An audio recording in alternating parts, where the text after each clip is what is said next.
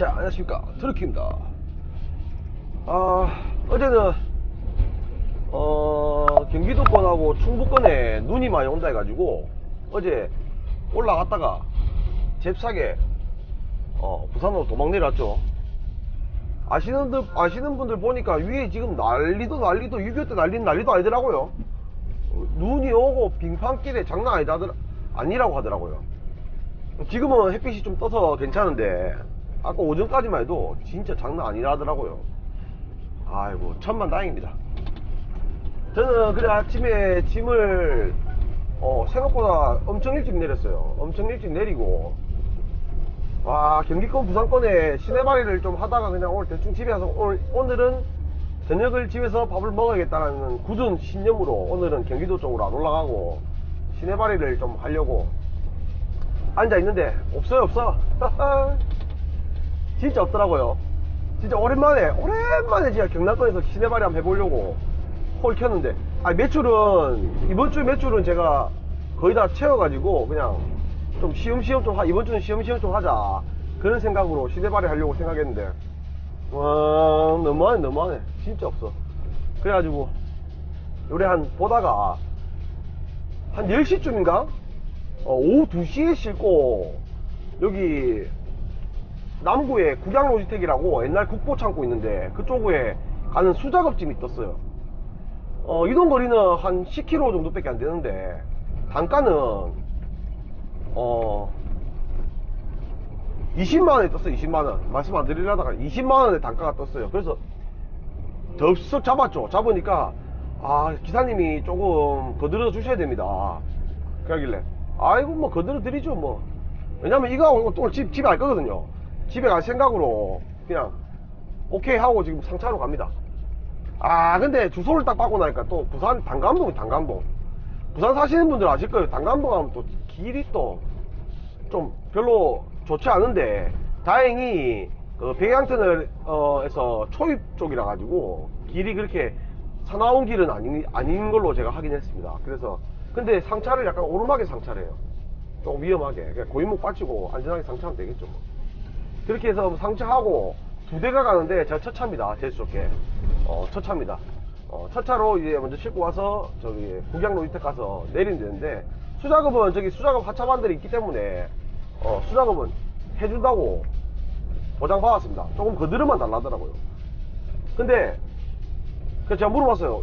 혹시 또 설마 또 금액이 너무 잘 나오니까 설마 또 그러면 또 혼자 또 내리라는 거 아니죠? 그러니까 절대 그런 일은 없으니까 어, 조금만 거들어만 주십시오. 아 예 알겠습니다. 오늘 땀 좀 뺄 요량으로 지금 상차하러 갑니다. 가깝기 때문에 뭐 10km 10km에 20만원이면 완전 완전 꿀이죠 꿀. 뭐 수작업 뭐 맨날 꼬시는 것도 수작업이고 수작업으로 단련된 몸이기 때문에 그런 건 괜찮습니다. 야 아무튼 저는 요거 하고 땀 좀 빼고 집에 와서 샤워 싹 하면 오늘 운동 한번 한 거죠. 그런 긍정적인 마인드로 렛츠기리 하겠습니다. 렛츠기리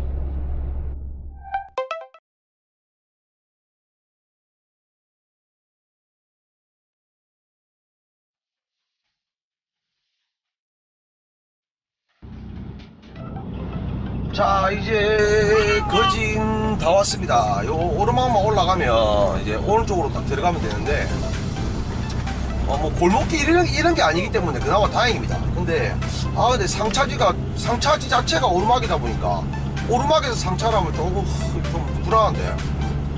저번에 광주에서 사이드 풀려가지고 앞으로 한번 밀린 이후로는 약간 트라우마 같은 게 생겼어요 이 차를 차의 사이드 브레이크를 100% 신임하고 믿을 수 없다라는 그런 트라우마가 생겨가지고 약간 오르막이나 이런 데에서 주차해 놓으면 무조건 고임목 받칩니다. 아파트 단지 쪽으로 가는데. 자 그리고 여기 원래 있던 모니터 큰 게 없어졌죠.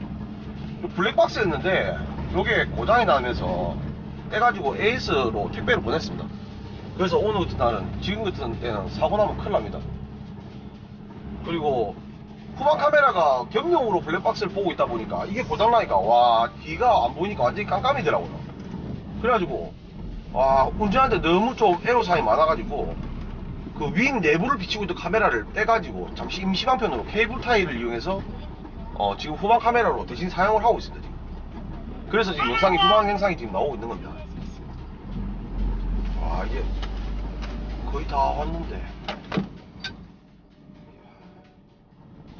차들이 좀 되는데, 차들이 많으면, 차를 어쨌든 돌려가지고 돼야 되거든요. 차를, 돌려야 되는데, 차들이 많으면 돌려대기도 좀 애매한 그런 아, 차들이 이래 많노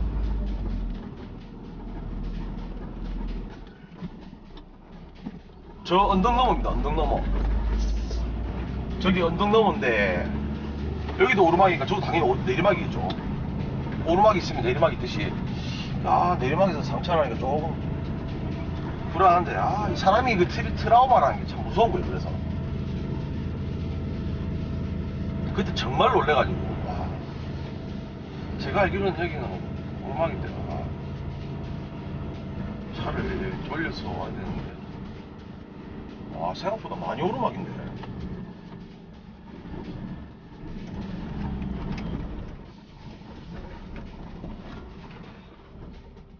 일단은 뭐 축을 내리고 축 내리고 7톤 되거든요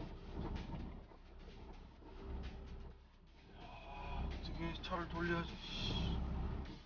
저기는 저기가 돼버리면 아 저 밑에고 더 밑에구나. 아 이 언덕 밑에 더 밑에네.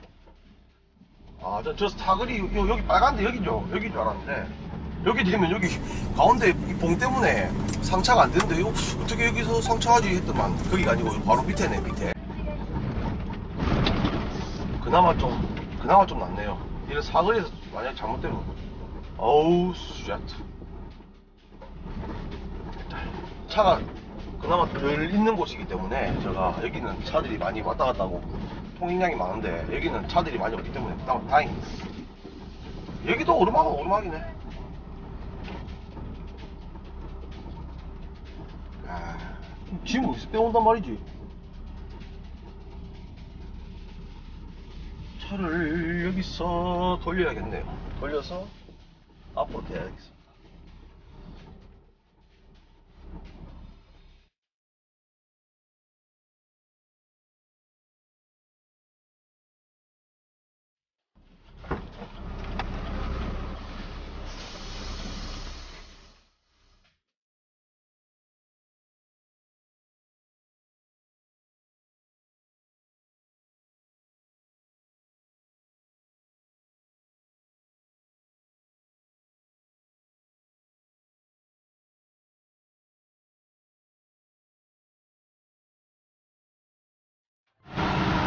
오르막이다 보니까.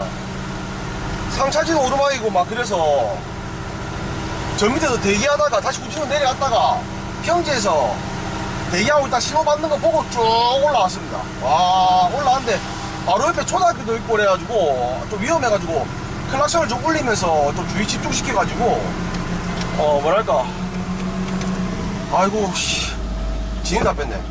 주의를 좀 집중시켜가지고 좀 위험함을 좀 감지시켜 놓고 그리고 쭉 올라왔네요. 중간에 근데 교차로 통과할 때 신호가 안 그래도 신호가 바뀌어가지고 좀 불안해가지고 계속 빵빵빵빵빵 되면서 인사하면서 미안하다 미안하다 얘기하면서 그래 올라왔습니다. 아, 아 이제 짐 싣고 근데 상차는 거의 그냥 다 해주네요.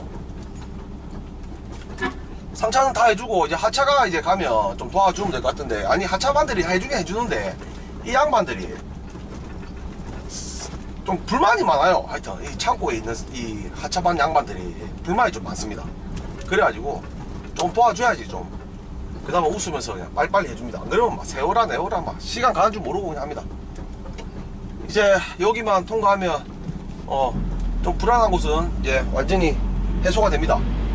이제 저기 간만창고까지 가는 거는 간만창고가 저기 되고 구양 로지텍까지 가는 길은 좀 그나마 좀 한산하기 때문에 한산한 게 아니고 도로도 넓고 그렇기 때문에 좀 불안감이 좀 덜하죠. 아 이거 입이 바삭바삭 말랐습니다. 아 애들을 보니까 애들이 있으니까 좀 많이 불안하더라고요. 좀아 이 잘못하면 큰일 난다는 생각에 그래서 좀 긴장을 좀 많이 하고 있습니다. 아무튼 저 이제 요 8km만 가거든요 8km만 저 안전하게 이제 하차지로 가서 이상 없이 하차하고 저는 퇴근하도록 하든지 아니면 야상을 하나 있으면 씻든지 하겠습니다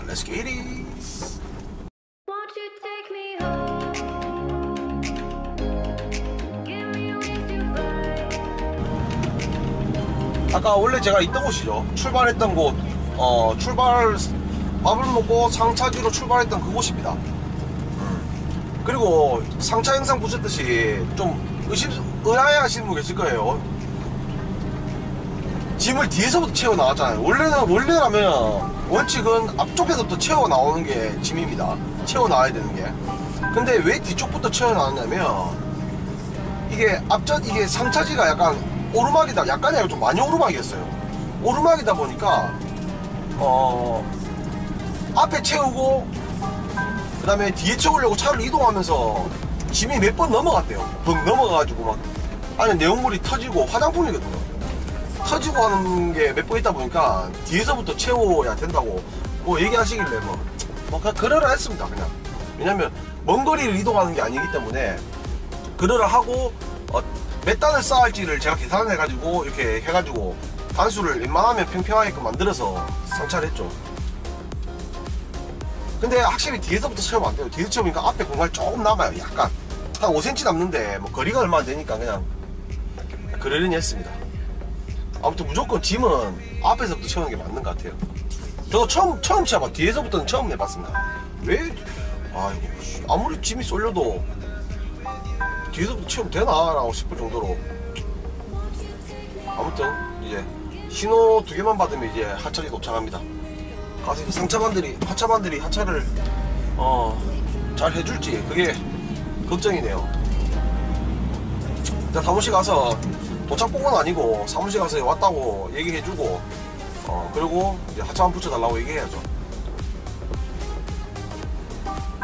이런 저 북한이나 신화 가면 도착 보고라고 뭐 이렇게 콜이 뜨는데 도착 보고가 다른 건 아니고 이제 이런 물건들이 이제 그 창고에 들어가서 이제 출고되기 전까지 이, 이 물건이 뭐, 뭐, ABC라는 이름 있으면 그 ABC라는 물건이 아니고, 어, 자기 창고에 고유 알파벳이나 뭐 이런 특정한 기호, 뭐 A면 A, A 다시 몇 번, 번호를, 번호를 땁니다.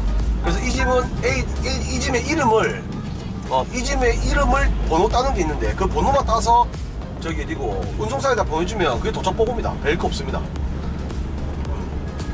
아무튼 이건 뭐 도착 보고는 따로 없다고 하네요. 도착 보고 있는 것보다 없는 게 훨씬 좀덜 상그럽죠. 어, 여기저기 막 어, 도착 보고 하려면 또짐 내리고 사인 받고 이런 이런 게 좀 있기 때문에 없는 게 낫죠.